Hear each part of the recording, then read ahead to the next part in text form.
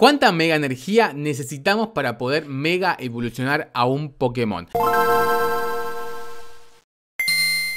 Hace dos semanas hice una publicación en la pestaña de comunidad en donde les di a elegir a ustedes si querían que hable esta semana en el video de novato a maestro de las mega evoluciones o de los caramelos. Tocaron las mega evoluciones, así que vamos a hablar de eso. Hola gente, ¿cómo están? Bienvenidos a un nuevo video de Pokémon GO. Y sí, gente, llegó el día. Vamos a hablar de las mega evoluciones. ¿Para qué sirven? ¿Qué podemos hacer con las mega evoluciones? ¿Dónde las podemos usar? ¿Dónde no las podemos usar? Etcétera, etcétera. Pero primero quiero decirles que en la pestaña de comunidad ya está publicada la publicación, valga la redundancia, para que ustedes puedan votar el video de la próxima semana. Así que ya saben, vayan para el perfil de la comunidad y ahí ya pueden votar. Y vamos a empezar con una pregunta súper mega básica. ¿Qué es una mega evolución? Una mega evolución es un estado temporal del Pokémon en donde van a mejorar nuestras estadísticas en combate. Existe un total de 25 mega evoluciones en el juego actualmente en el año 2022, por lo menos no sé cuándo estarás viendo este video vos,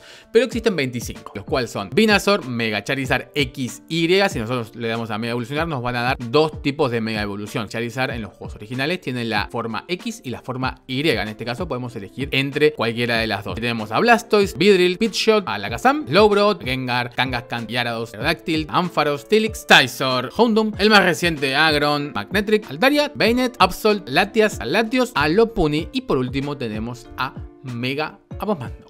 Y ahora ustedes se estarán preguntando, ¿podemos mega evolucionar a todos los Pokémon que están disponibles en el juego? Sí y no es la respuesta. Sí, porque sí se pueden mega evolucionar todos los que están disponibles, pero no se pueden evolucionar a los Pokémon tanto ya sea oscuro o ya sea un clon. Vamos, si vamos acá y vamos a buscar un Charizard oscuro, podemos ver que no tenemos la pestañita de mega evolución. Así que un Pokémon oscuro de momento no se pueden mega evolucionar. No sabemos si esto Niantic lo va a agregar en el futuro o no. Pero de momento no se puede. Y después también eh, hace mucho tuvimos un evento en donde los clones de la primera película de, Pokémon. En donde salieron y bueno, estos clones, como bien este Charizard es un clon, tampoco se pueden mega evolucionar. Así que tengan este dato presente porque quizás, quizás en algún futuro lo puedan implementar los de Niantic. Ahora, si tenemos un Pokémon oscuro, como es este caso de Charizard, que no lo encuentro, acá está un Pokémon oscuro, perdón, un purificado. En este caso, esta mega evolución sí se puede efectuar. ¿La mega energía es igual para todos los Pokémon? No, cada Pokémon tiene su propia mega energía. Por ejemplo, Mega Altaria tiene la mega energía de Mega Altaria. Acá lo podemos ver en donde está el número 70. En Kangaskhan tiene la mega energía de Kangaskhan. El Abomasnow tiene la mega energía de Abomasnow, Vidril y así sucesivamente. Así que no toda la mega energía que juntemos nos va a servir para cualquier Pokémon, sino que nos van a servir para su Pokémon en específico. ¿Cuánta mega energía necesitamos para poder mega evolucionar a un Pokémon? Necesitamos, dependiendo del Pokémon, necesitamos 100 de energía, 200 de energía o 300 de energía. Si nosotros, por ejemplo, acá vamos a, volvemos para atrás y vamos al, buscador, que yo ya acá lo tenía preparadito, nos vamos a un, mm, no sé, un Vidril, por ejemplo, este de acá, nos va a pedir 100 de mega energía. Pero si vamos, qué sé yo, al Vinazor este, nos va a pedir 200 de mega energía. Y si vamos a este Latios, nos va a pedir 300 de mega energía, lo cual es bastante. Y ahora ustedes se preguntarán, hey Eiji, ¿por qué a vos te pide acá no te pide nada? ¿Por qué acá te pide 20? ¿Por qué acá te pide 20? ¿Por qué acá te pide 10? Bueno, eso es por los mega niveles de cada Pokémon, que ahí vamos a hablar de eso. Pero antes tienen que saber cómo conseguir la mega energía para poder hacer esas mega evoluciones y subir esos majestuosos mega niveles que son bastante importantes. Hay tres formas actualmente en el juego para conseguir mega energía. Si volvemos para atrás y nos vamos a nuestro compañero, yo actualmente tengo a Lopuni de compañero, que me va a pedir caminar 3 kilómetros para que me dé 15 de mega energía.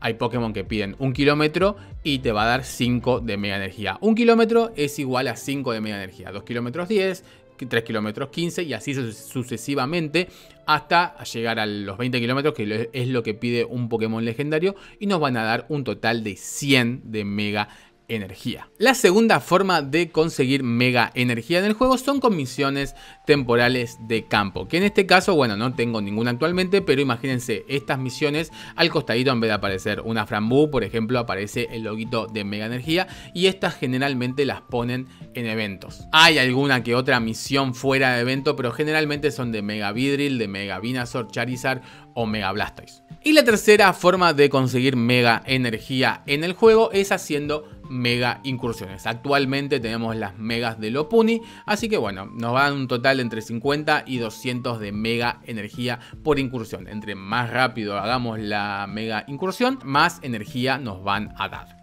¿Cuánta mega energía pueden acumular en el juego? Ellos se estarán preguntando. Y lo máximo que podemos tener de mega energía de un solo Pokémon sería 9999. Nunca voy a entender por qué no le agregan un puntito más para que quede redondo. A mí me da el toque. ¿A ustedes también les pasa? Ahora sí, ¿qué son los mega niveles y qué beneficios tenemos con estos mega niveles. Si nos vamos a nuestros Pokémon, yo voy acá a mi etiqueta que tengo de megas y nos vamos por ejemplo a este Gengar y nos tocamos acá en el, el loguito de mega, vamos a ver que tenemos tres niveles de Mega. ¿Qué son esos? Se estarán preguntando para qué sirve esto. Bueno, se los explico muy rápido y muy fácil de entender. Básicamente, en nivel 1 vamos a tener estos bonus de Mega nivel, digamos, ¿no? Mega nivel, nivel 1. Vamos a tener un bonus de caramelo por captura, o sea que nos va a dar más probabilidad de conseguir más caramelos al atrapar un Pokémon. Vamos a tener un busteo de ataque, o sea, vamos a hacer más daño en incursiones. Vamos a tener un periodo de 7 días para mega evolucionar a nuestro Pokémon totalmente gratis, si no tenemos que gastar mega energía y nos va a pedir menos mega energía una vez que tengamos el nivel 1 de amistad para volver a evolucionarlo. Y si nos vamos al mega nivel 2, podemos ver que ya acá cambian algunas cositas. El bonus de caramelos, eso sigue exactamente igual. El busteo de ataques, eso sigue exactamente igual. Pero acá ya cambia la cosa. Vamos a tener una reducción para volver a mega evolucionar a nuestro Pokémon totalmente gratis de 2 días. En vez de 7 va a pasar a tener 5 días para volver a mega evolucionarlo. Vamos a tener una gran probabilidad de conseguir caramelos XL al atrapar un Pokémon. Vamos a tener un bonus de experiencia por captura que si no estoy mal, no busqué el dato, son 50 o 100 más de experiencia por Pokémon, lo cual al atrapar muchos es bastante experiencia a la larga. Y también vamos a tener un coste de mega energía muy reducido, que es un poquito menos que nos va a pedir para mega evolucionar si es que lo queremos mega evolucionar antes de que se cumplan los 5 días. Y si nos vamos al mega nivel 3, acá vamos a ver que ya cambia completamente, que es el mejor bonus que pueden tener con una mega evolución, que vamos a tener, seguir teniendo el bonus de caramelo, pero va a estar mejorado, que nos van a dar más caramelos, vamos a tener más ataque en incursiones, vamos a tener un periodo de 3 días de recuperación solamente en vez de 7 baja a 3, es bastante, y vamos a tener una excelente probabilidad de conseguir caramelos X XL vamos a volver a tener el bonus de experiencia al capturar Pokémon, que es un poquito mejor, más un poquito más de experiencia. Y también vamos a tener un coste de mega energía súper reducido. Ahora, un dato que tienen que saber sí o sí, para que quede claro más que nada, si nosotros mega evolucionamos a un Pokémon, por ejemplo, a Gengar, nos va a bustear a solamente a los Pokémon tipo fantasma y tipo veneno. ¿Por qué? Porque Gengar es tipo fantasma y tipo veneno. Si nosotros mega evolucionamos a un Vidril, por ejemplo, nos va a potenciar a los Pokémon que atrapemos tipo bicho y tipo veneno. Y si nosotros queremos mega evolucionar un Blastoise, nos va obviamente a potenciar solamente los Pokémon de tipo agua. Espero que haya quedado claro y que no haya confusiones con esto. Ahora, ¿en dónde podemos usar y no podemos usar las mega evoluciones? No lo podemos usar para defender gimnasios, no podemos poner un mega Pokémon para defender un gimnasio, tampoco podemos usar a las megas en GBL, aunque esto hace un tiempito, ya un, par de meses, hicieron como un experimento de, para usar las megas en GBL, así que yo creo que en algún futuro se van a poder usar. Pero en el caso de que no se pueda usar en GBL, sí lo podemos usar contra amigos en PvP, un amistoso o lo que sea. Y en Gyms y Raids también se pueden usar. Y no solo eso, sino que también cuando nosotros usemos una mega evolución, vamos a potenciar a todos los Pokémon de ese mismo tipo de la mega evolución para que tengamos un busteo de ataque. No sé si se fijaron en su juego, a veces cuando hacen algún raid o lo que sea, hay veces que el botoncito donde apretan para atacar está de colores. Bueno, eso significa porque hay una mega evolución en la incursión. Ahora, como último dato y no menos importante, existe un filtro para poder buscar a las megas que no tengamos mega evolucionadas o tengamos mega evolucionadas en nivel 1, 2 o 3. Y ese filtro es mega. Ponemos mega y después le podemos agregar, por ejemplo, un 0 y nos va a mostrar a todos los Pokémon que todavía no hayamos mega evolucionado. Por ejemplo, este Venusaur, este Venusaur, este Venusaur, este Venusaur, este Charizard, Charizard, bueno, tengo muchos Charizard. Todos estos no los mega evolucionaré cuando sí podrían mega evolucionarlos realmente.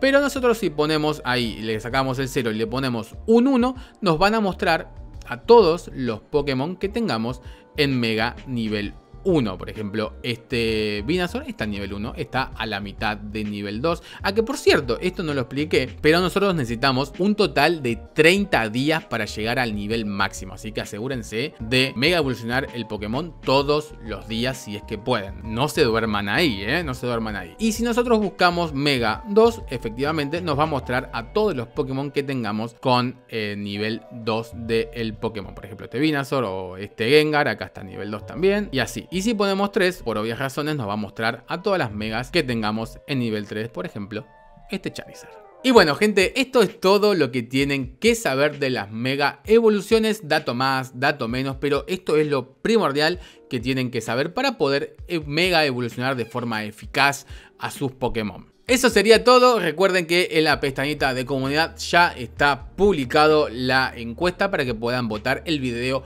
de la próxima semana. Yo soy Eshi, me voy despidiendo y recuerden que un like se agradece, una compartida muchísimo más y nosotros nos estaremos viendo en un próximo video. Acá mismo les voy a estar dejando unos videitos para que vayan a ver si, si quieren seguir viendo esta guía. Nos vemos en la próxima. Bye.